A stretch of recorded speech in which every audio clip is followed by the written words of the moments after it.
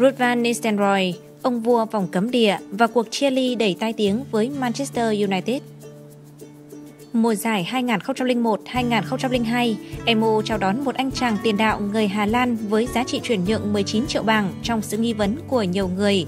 Không mất nhiều thời gian, anh trở thành trọng pháo của bầy quỷ đỏ với hiệu suất ghi bàn đáng nể. Anh là đối thủ cân tải cân sức với đứa con thần gió Thierry Henry trong cuộc đua vua phá lưới ở ngoại hạng Anh. Anh chính là Ruud van Nistelrooy, ông vua vòng cấm địa và là một trong những tiền đạo lừng danh của bóng đá thế giới. Cậu bé với tình yêu bóng đá mãnh liệt Mỗi khi định nói về một sự trùng hợp kỳ diệu trong bóng đá Hà Lan, nhiều người sẽ nghĩ ngay đến ngày 1 tháng 7 năm 1976.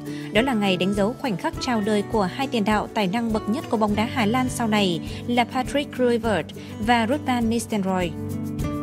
Trái ngược với người bạn đồng niên Kluivert, Van Nistelrooy không giống như một cầu thủ Hà Lan điển hình. Anh sinh ra ở Oss, một thị trấn nhỏ miền Nam nơi sản sinh ra nhiều ca sĩ nhạc rock và vận động viên bóng truyền hơn là cầu thủ bóng đá. Cha anh chỉ là một thợ điện, còn ông nội là chủ một trang trại nuôi bò. Dù vậy, cậu bé Rutgerus Johannes Martinus van Nistelrooy lại có một tình yêu bóng đá mạnh mẽ. Ngoài thời gian đi học ở trường, cậu tập đá bóng vào bờ tường sau nhà và viết thư cho những cầu thủ nổi tiếng để xin chữ ký.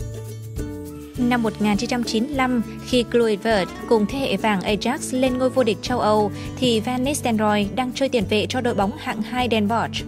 Anh luôn được đánh giá cao về sự nhiệt tình và nhanh nhẹn, nhưng rất vụng về và khả năng kiểm soát bóng cũng như kỹ năng xử lý một chạm chỉ ở mức trung bình. Cuộc lột xác ngoạn mục Mọi chuyện chỉ bắt đầu thay đổi vào năm 1997 khi Van Nistelrooy chuyển tới Heerenveen của huấn luyện viên Fop de Haan, nơi vốn được xem là trường dạy kỹ năng dứt điểm hàng đầu Hà Lan. De Haan nhận thấy anh có thể sút rất tốt nhưng lại thiếu đi sự tinh quái cần thiết của một tiền đạo. Ông quyết định gửi cậu học trò tới Amsterdam để quan sát và học cách di chuyển không bóng của Dennis Bergkamp trong màu áo đội tuyển Hà Lan, đồng thời thiết kế một giáo án đặc biệt nhằm tăng cường tốc độ và sức mạnh cho anh. Hiệu quả đến ngay tức thì, Van Nistelrooy ghi 13 bàn trong 31 trận và mùa hè năm 1998, anh được PSV mua lại với giá kỷ lục của bóng đá Hà Lan khi ấy là 6,3 triệu euro. PSV khi đó vừa bán đi 5 cầu thủ hay nhất của mình và việc đầu tư một số tiền lớn vào cầu thủ như Van Nistelrooy bị coi là một sai lầm lớn. Nhưng thực tế đã cho thấy quyết định của tân huấn luyện viên Bobby Robson là đúng đắn. Anh ghi 62 bàn sau 67 trận ở giải vô địch quốc gia Hà Lan, tiếp bước những chân sút lừng danh trước đó của PSV như Ronaldo hay Romario, giành danh hiệu vua phá lưới. Ngay lập tức, Sir Alex Ferguson gửi tuyển trạch viên đến Sonny Nistelrooy và không lâu sau đó, thương vụ được thông qua với mức giá lên đến 19 triệu bảng, một con số không hề nhỏ vào thời điểm đó. Van Nistelrooy nhanh chóng trở thành tâm điểm của giới truyền thông. Nhiều người cho rằng anh sẽ không chịu được áp lực ở một câu lạc bộ hàng đầu châu Âu như MU và cái giá 19 triệu bảng sẽ trở thành gánh nặng cho anh. Thợ săn đích thực và Van Gogh đã đập tan mọi nghi vấn ở mùa giải đầu tiên ra mắt MU. Anh nổ súng không biết mệt mỏi khi ghi 36 bàn trên mọi đấu trường cho bảy quỷ đỏ. Anh cân bằng kỷ lục của Morgan, Alan Shearer và Thierry Henry khi nổ súng không ngừng nghỉ trong 8 trận liên tiếp. Nistelrooy không phải mẫu tiền đạo màu mè và thích biểu diễn. Anh hiệu quả, hiệu quả một cách đáng sợ. Kỹ năng săn bản của anh giống như một thứ bản năng trời phú. Anh sở hữu sự nhạy cảm đặc biệt trong việc chọn vị trí và kỹ năng dứt điểm chính xác đến độ tuyệt đối. Rudd đặc biệt nguy hiểm trong vòng 16m50 với những pha xử lý siêu đẳng trong phạm vi hẹp và những cú xoay người rút nhanh như một tia chớp. Đó là lý do vì sao người ta gọi anh là ông vua vòng cấm địa. Chứng kiến màn trình diễn vượt ngoài sự mong đợi của Nistelrooy, bản thân Sir Alex phải thốt lên rằng Ruud xứng đáng đến từng xu mà tôi đã bỏ ra để đem cậu ấy về.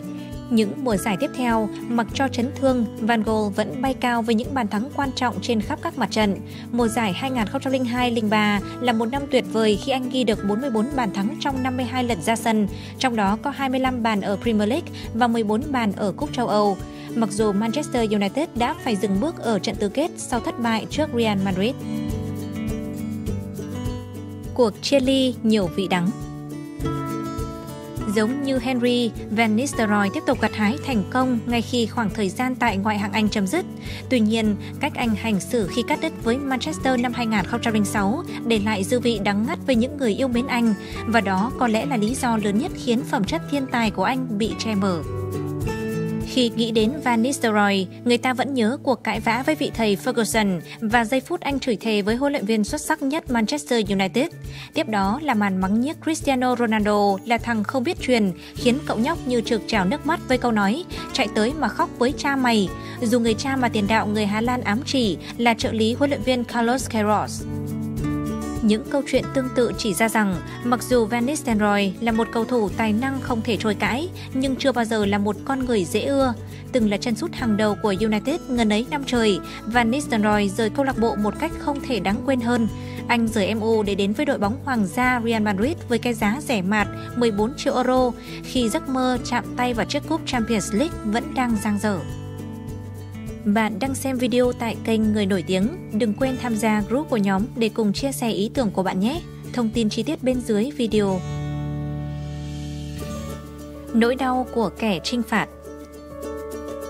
có lẽ Van Nistelrooy cũng đã hối tiếc vì những quyết định sai lầm trong quá khứ khi anh gọi điện và xin lỗi Sir Alex Ferguson trong một ngày mùa xuân năm 2010. Một lời xin lỗi muộn màng chẳng thể lấy lại những ngày tháng đã qua, nhưng ít nhất nó khiến cho người ta phải nhìn nhận lại con người của anh. Tôi nghĩ rằng nếu như không ghi bàn thì có nghĩa là tôi chẳng đóng góp gì cho đội bóng cả.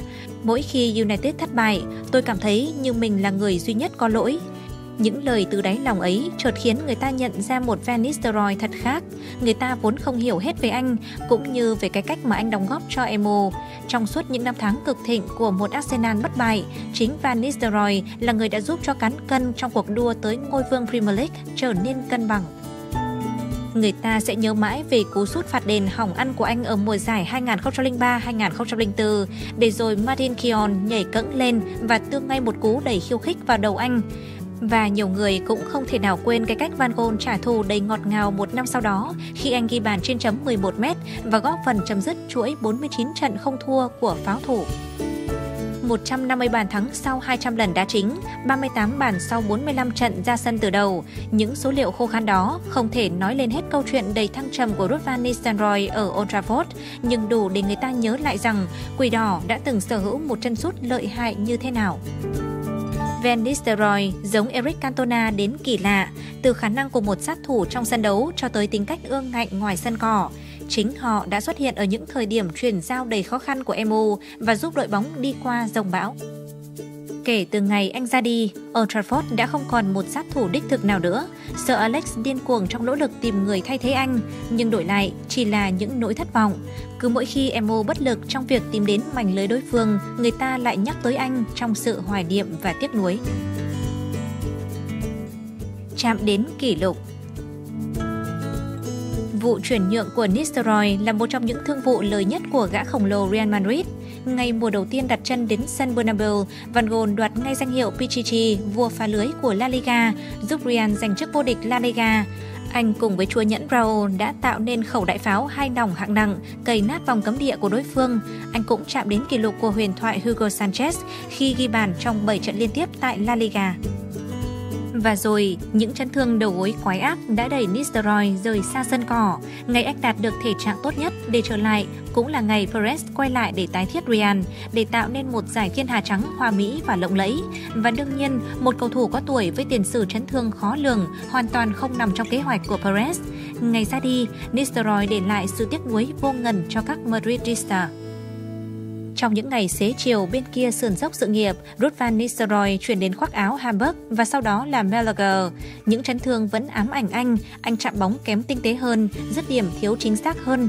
Hình bóng của anh dần nhạt phai trên sân cỏ và vào ngày 14 tháng 5 năm 2012, Van Gogh chính thức tuyên bố giải nghệ.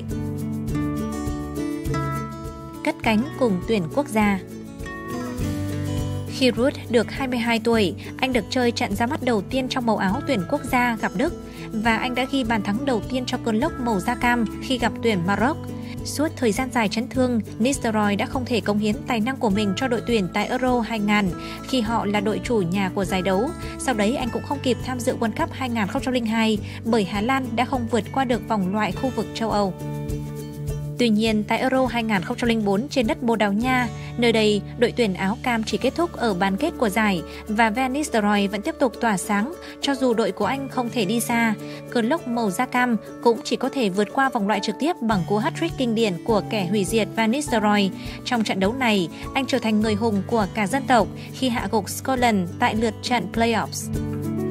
Tại World Cup 2006, tuyển Hà Lan đã phải dừng cuộc chơi tại vòng 16 đội, một phần cũng bởi phong độ không cao của Nistelrooy.